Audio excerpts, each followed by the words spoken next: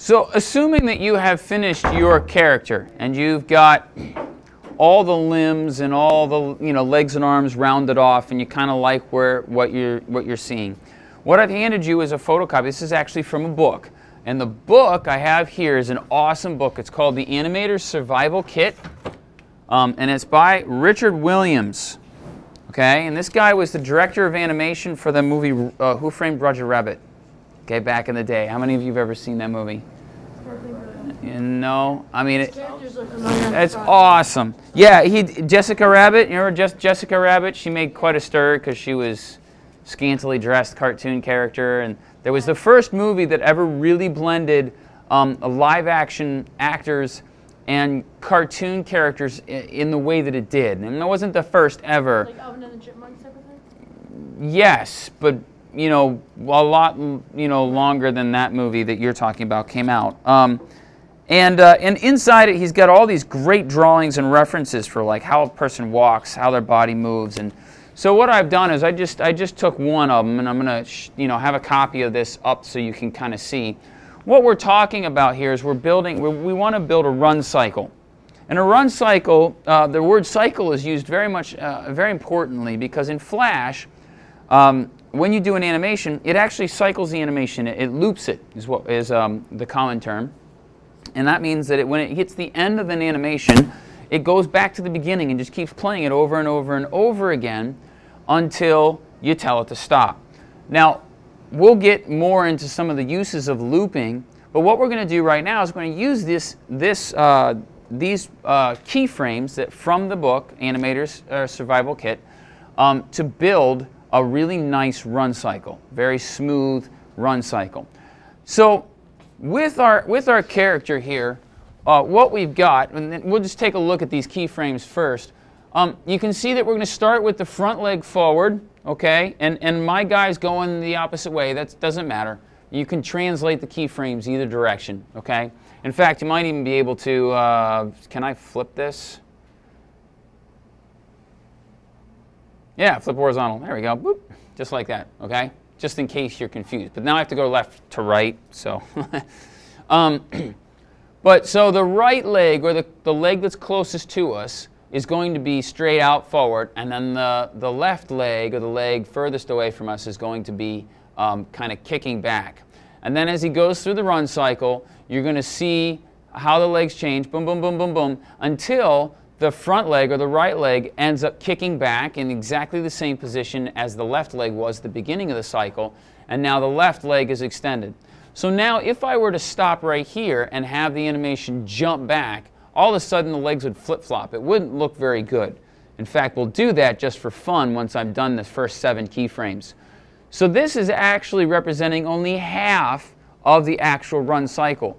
Because what we need to then do in order to finish off the entire cycle, we've got the right leg goes kick, kicks back, then the right leg needs to continue and come forward just exactly the same as the left leg does in order to get to its original position. So we'll talk exact about how I go about doing that since we only have half of what we need here um, in just a second. But let's just start with the first seven. So my first keyframe is that straight out and leg kicked back thing. So we're just going to go here.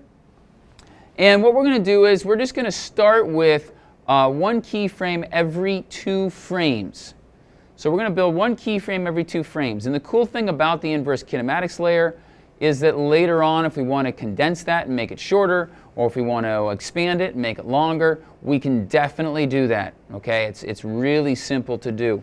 Um, so I'm going to need uh, 17 keyframe, or wait, 7 keyframes, 14 frames.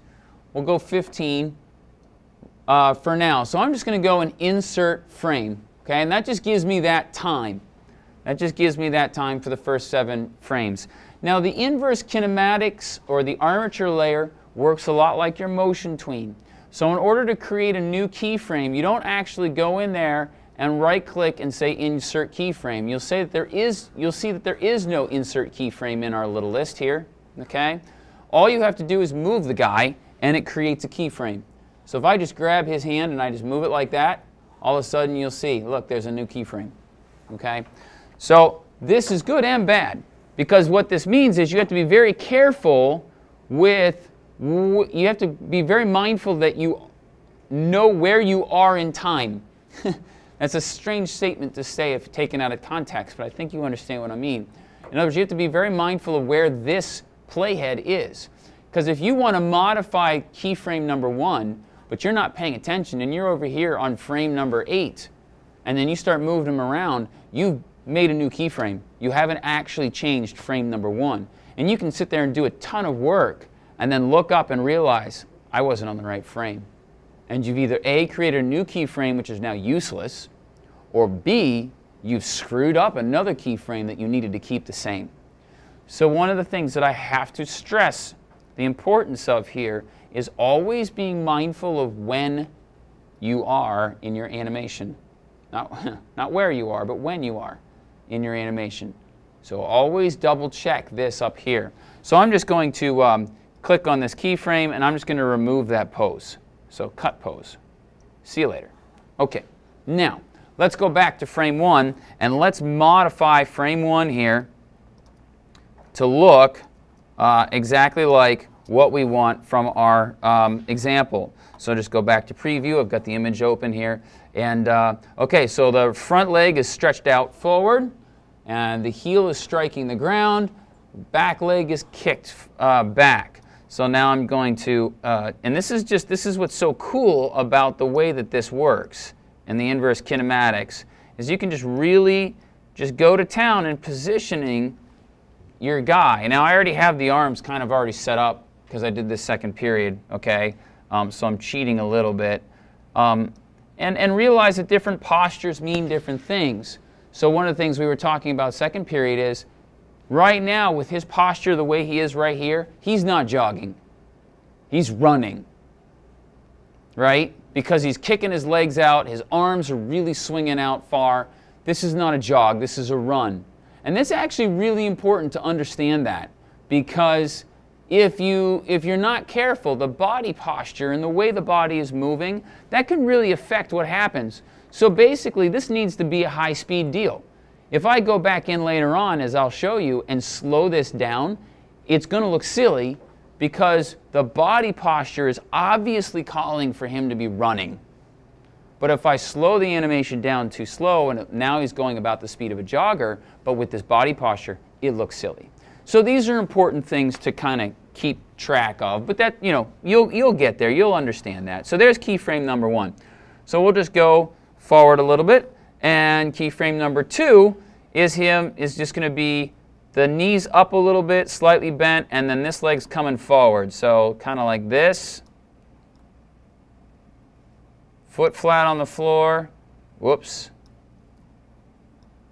And then this is kind of coming forward. And then now um, this arm is coming back, and that arm's now more vertical. So like this, maybe. And this arm's coming back like that. Does that look pretty good? Yeah, that looks pretty good. Maybe this arm, this forearm needs to be back just a little bit more like that. There we go.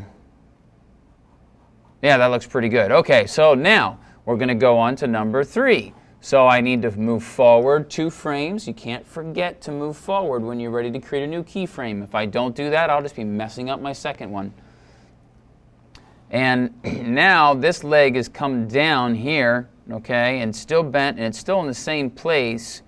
Um, and uh, the leg is now straight. So these, the thighs are almost in the identical position. So bring this down here like that, like that, like that. Bring this forward, and if anything, the back thigh was a little bit forward here. Now I'm looking at this and I'm, I, I changed the guy. Uh, we, we definitely have a problem here with the butt, okay, that I would want to now stop right now in the animation and I would go back and I would move my, um, my rotate points and stuff for that back leg. I'm not going to worry about it right now, but that's definitely a problem, yes? Yes, okay? That's definitely a problem. That looks awful. Um, but we won't worry about it right now. Um, So now this arm's coming down here like so. This arm's back here like this. And let's see how that looks. Not too shabby. That looks pretty good. So let's go on to four. So now four, the front leg is now slightly back. Toe point, or the foot is pointed a little bit, and the front leg is now coming forward, and the arms are basically right at their sides, but the back arm is a little bit behind the body, and the front arm is definitely down alongside the body. So here, what I'm going to do now is this leg is coming back, yes, like that, and the toe is, point, whoop, there's the hand got in the way there, that's okay. Now the toe is, nope, there, that foot got in the way too. That's going to happen a lot. That's why the handlers are both good and bad, but they do help. Um, so now that arm's going to come forward just like this.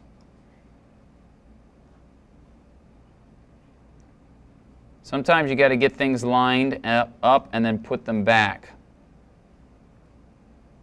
Like that. And then this arm is slightly behind, but the hand is pretty much all the way behind the body. Let's take a look at what that looks like.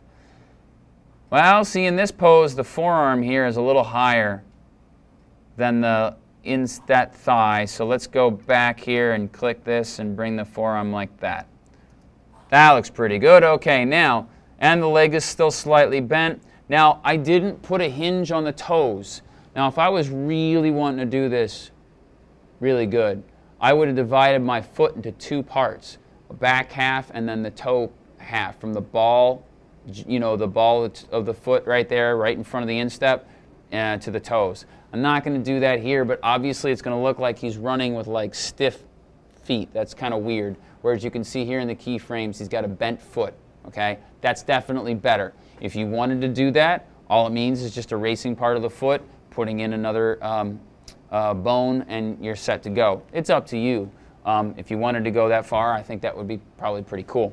So now, I'm going to, uh, so where are we here? We're here, so we got to do number five. So now the leg's straight out, the inside leg is, uh, is almost straight out, and the foot's ready at like the apex here and then these arms are back. So this leg goes back like this, straight out. Whoops, I broke his knee. Oh, thank you. I just made a big mistake. Yep, so I'm going to undo, undo, undo, undo, undo. There we No. There we go. So now we're back to normal. Thank you. I didn't move forward. Haha. See, even I do it. So there we go. Move that forward. Tippy toes again bring this, whoops, that forward a little bit. So again, it's kind of at the apex. Bring that foot forward just a tiny bit. And then uh, this arm's going to come back more here. And then this arm's coming forward more here like that. Okay? So that's starting to look good. Let's just take a look. So, do-do, do-do. I probably should move this forearm down just a little bit. Again, a lot of it just depends on how much you want to emphasize the motion. Um, now we go to number six. Now the foot is kicking back, and this foot, the thigh is in the same place, but now the, sh the shin, the, the bottom leg, is coming forward, getting ready to get, you know, to step down. And now for the first time, we can see the fist come out from behind the body, and then this arm is now separated from the body for the first time too. See that? So here we go. Bring this forward. Bring that backwards like that. Now this, like maybe like that. Then this leg is kicking back, right? And now this foot is coming forward like that, getting ready to strike the ground. Did I not move forward? I didn't move forward. Stink.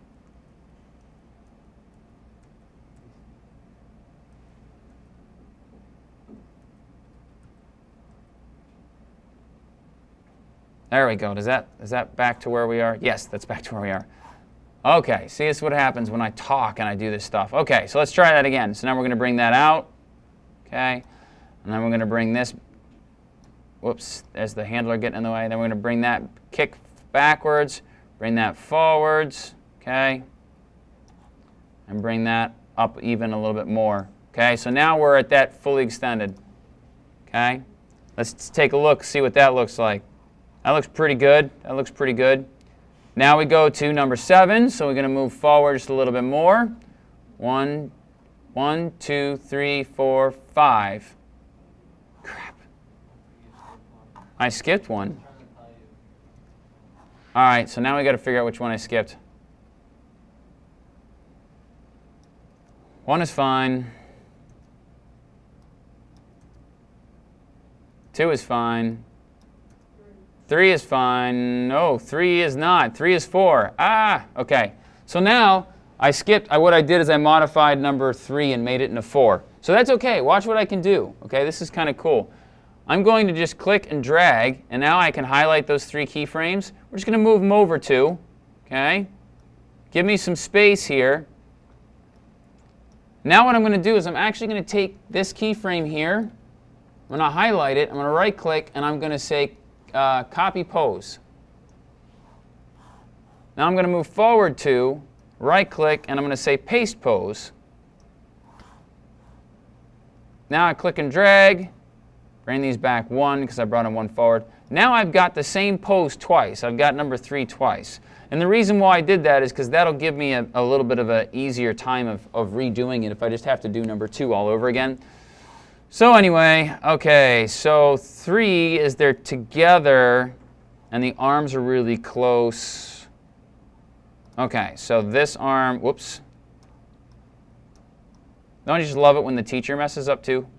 Hopefully it makes you feel like, wait a second, I can do this. Because you can.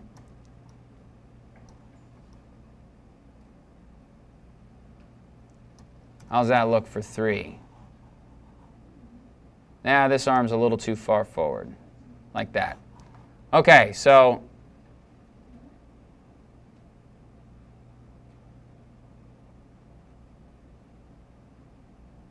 And apparently I lost my poses on 6 and 7. I don't know why Flash did that. One, two, three, four, five, six. So 5. So 4, 5, and 6 are now all the same. How did that happen? Well, sometimes Flash just doesn't do what you want it to do. Let's take a look. So we're on 4. Yep. So I got to do 5 and 6 all over again. Isn't that lovely? Well, that's okay. That happens. So now I'm just going to do 5, leg extended out, leg up. This one comes forward a little bit more. That one comes back a little bit more. So the leg's going to come out like this. This leg's going to come forward some more. That arm comes there. That arm comes back there. Okay. Now we're on 6.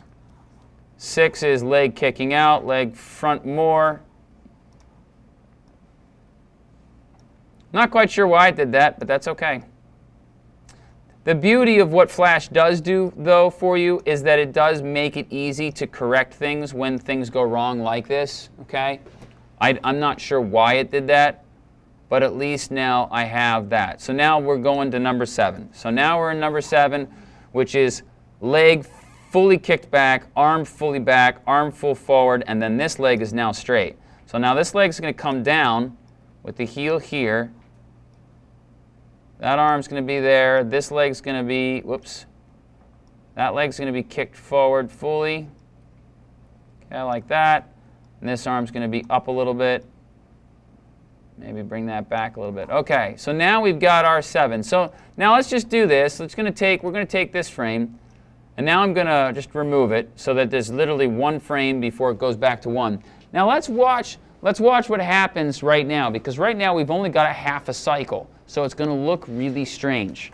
All right, I'm going to save it really quickly so if Flash crashes, which it does do every once in a while, I don't lose all of, all of what I've just shown you because that would just ruin this. So now I'm going to preview my movie by going test movie. Don't just go to play or hit the play button down here. It won't always play in real time. You want to actually test the movie, which is also Command Enter. See that? So just Command Enter. It exports it into a movie. Yeah, see, it kind of looks weird. Yeah, the butt is a little disturbing, isn't it? Okay. That's okay. We'll, we'll, we'll, we'll, we'll change that. If we've got time, I'll show you we can change that. So now, so here's what I need to do. Here's what I need to do. I need to, I'm going to insert frame here. Just give myself some more time in the animation. Now, if I look, what I really need to do is I need to just go backwards essentially, starting with number two, but flip-flop. Right leg for left leg, left leg for right leg. Does that make sense? Right leg for left, okay? So that, so that essentially I'm just bringing this right leg here, I've got to bring it back so that it's now extended forward like the left leg is now. Okay, so we're just going to go forward another two frames and we're just going to rebuild the cycle, but now we're just going to flip-flop sides. So if I look at number two, I've got, now it's going to be the right leg is going to be down, left leg is bent. Okay, left leg bent like that, right leg coming down, arm comes down, arm comes down. Okay, there we go. Go forward another two frames. Let's take a look. Now they're almost overlapping. Arms are down a little bit more. This arm's almost like right there. Now I've got, whoops, leg's still flat. This leg is still here like that. Go forward another two.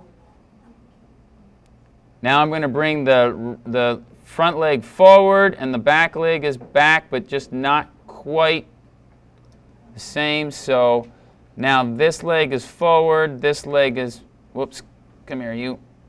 Let's move that arm there, this arm here, that there like this, and still bent a little bit, right? Go forward another two. Now I've got to bring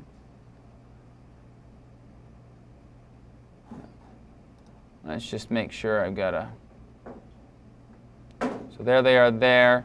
This one should probably be it should probably be a little bit further forward, shouldn't it? Like that.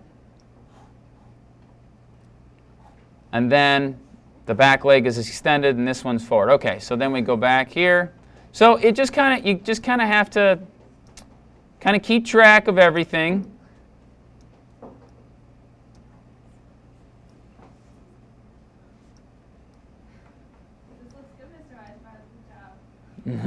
Thank you. Thanks for the encouragement. There we go. And now we're only one away. We're only one away. So now we have to kick this back leg there and bring the other one forward. So go forward two, bring the other leg forward, Bring this here like that. This one back a little bit more like so. And then kick, whoops, kick the foot back. Not quite the full length. So now, what I can do is just take these and remove them, remove frames. Now, let's build our cycle. So Command Enter. That looks a lot better, doesn't it? Yeah, the butt is a little disturbing. Let's take care of that, okay? See, and here's the, this is the cool thing about symbols. Yeah, his head's not moving, so you could go in and animate his head, guys. That's, you know, that's definitely something. So, if I wanted to, I'm going to go in, double click, and I can just change the angles here okay, of his of of the right thigh, I guess, the back thigh, and I'm going to actually add a point here.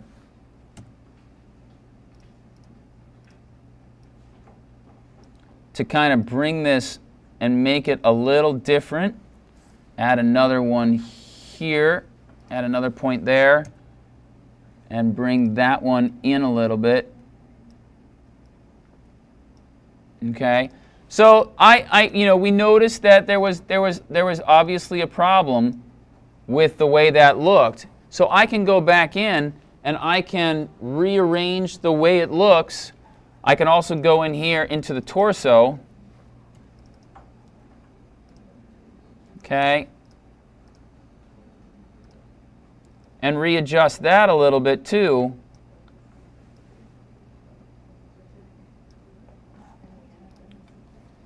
Now look how, now, now let's see how it looks. Oh, it looks a lot better, doesn't it? Yeah. Yeah, it does. You know what, and you know what it is really? It's because there is a slight change because the last keyframe is not the same as the first. Oh, and look, it, it, it increases speed here. So let's do this. We're going to, I'm not sure how that happened. Not sure where that keyframe came from because I didn't create that one. Let's, let's cut that pose out. I think that's causing some problems. Okay. But yeah, this last keyframe isn't the same. So here's what we're going to do is I'm going to insert one more frame here. And then I'm going to take my first keyframe and I'm going to copy the pose, go back to 25, and paste the pose. So now my first keyframe and my last keyframe are the same. Now what that's going to do is it's going to cause a momentary hesitation because he's going to be at the same pose twice, but it's probably going to reduce the jerkiness. So let's take a look at that, see what that looks like.